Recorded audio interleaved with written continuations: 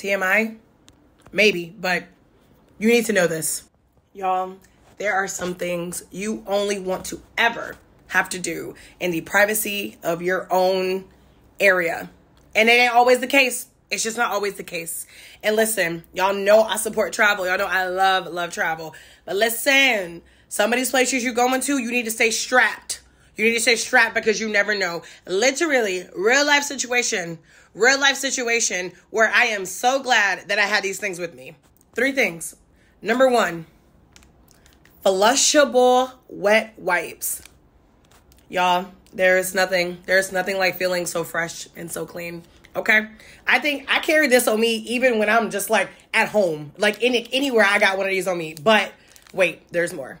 A toilet seat cover that you can pack with you because there are some there are some toilets ain't no way, ain't no way my booty is going anywhere near anywhere. And last but definitely not least, when you just you want to keep things nice and inconspicuous. Poo-Pourri before you go spray. Y'all, thank me later. Thank me later. And of course, I have these tagged right here in TikTok shop just for you so you can go ahead and grab them.